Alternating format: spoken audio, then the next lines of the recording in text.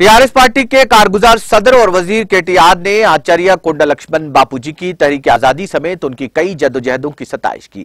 बापूजी की जदोजहद नाकाबिले फरामोश है। वज़ीर केटीआर ने सिलसिला शहर में मानेरू नदी के करीब एल्लम्मा मंदिर में कोंडा लक्ष्मण बापूजी के नए नस्बशुदा मुजस्मे की नकाब कुशाई अंजाम दी। इस मौके पर बापूजी को ज़बरदस्त खराज अकीदत पेश किया गया। बाद केटीआर ने वहाँ मुनदा इजलास से खिताब किया। उन्होंने याद दिलाया कि कोंडा लक्ष्मण बापूजी आज़ादी से पहले नहीं, बल्कि तेलंगाना तहरीक में सबसे आगे थे। उन्होंने कहा कि वो न सिर्फ़ तहरीक में लड़े, बल्कि जंगजुओं की हिमायत भी की। उन्होंने कहा कि हुकूमत ने कुंडा लक्ष्मण बापूजी का 20 फीट का मुजस्समा खड़ा किया है, जहाँ इस वक्त की उस वक्त की हुकूमत ने उनके घर को हटाकर उन पर जुल्म किया था। उन्होंने कहा कि आने वाली नस्लों को तेलंगाना जहदकार की अजमत से आगाह करने के लिए मुजस्मा नस्ब किया जा रहा है।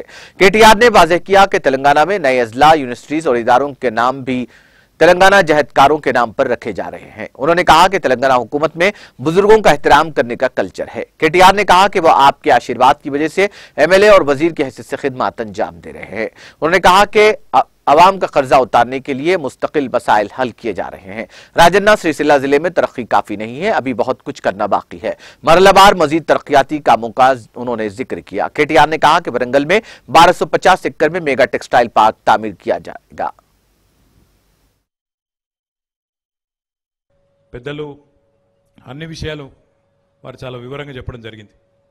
ఇది బాపూజీ యొక్క నూట ఏడవ జయంతి.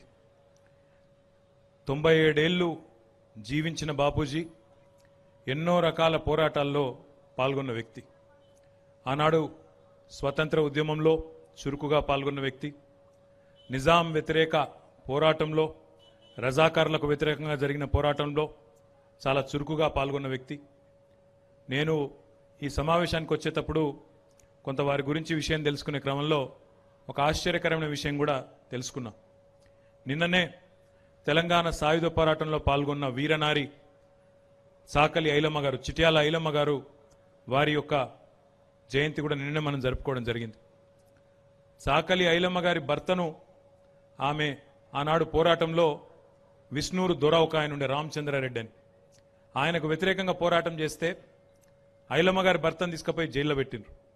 జైల్లో పెట్టినప్పుడు ఆనాడు కోర్టుకు పోయి కొట్లాడి ఆమె భర్తను విడిపించింది కూడా ఎవరో కాదు ఆచార్య కొండా లక్ష్మణ్ బాపూజీ గారన్న విషయం ఇక్కడికి వచ్చినప్పుడు నాకు తెలిసినప్పుడు చాలా ఆశ్చర్యం అనిపించింది. అంటే ఉద్యమంలో తాను పాల్గొనడమే కాదు ఇతరులకు కూడా ఇతర ఉద్యమకారులకు కూడా అండగా నిలబడి ఎప్పటికప్పుడు వారికి కూడా అవసరమైతే సహాయపడి ఆ రకంగా పంతొమ్మిది వందల పదిహేను నుంచి మరి ఉద్యమంలో పాల్పంచుకుంటూ స్వాతంత్రం వచ్చిన తర్వాత జరిగిన మొట్టమొదటి ఎన్నికల్లో ఆనాడు ఆసిఫాబాద్ నుంచి శాసనసభ్యుడిగా ఎంపికై తర్వాత ఏడు సార్లు వరుసగా శాసనసభ్యు శాసనసభలో కొనసాగుతూ మంత్రిగా ఆనాడు పదవీ బాధ్యతలు చేపట్టి ఇప్పుడే పెద్దలు చెప్పినట్టు మొదటి దశ తెలంగాణ ఉద్యమం వస్తే